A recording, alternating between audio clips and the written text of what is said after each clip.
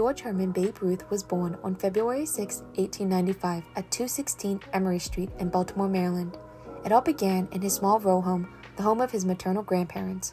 By the late 1960s, the property and adjoining three row house structures had fallen into despair and was scheduled for demolition.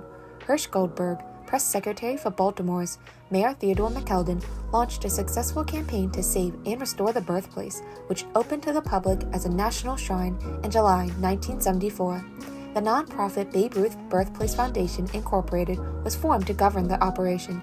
Exhibits depicting the historic house and life and times of Babe Ruth were installed with the help of Babe's widow Claire, his two daughters Dorothy and Julia, and his sister Mamie, who was also born at the 216 Emory Street.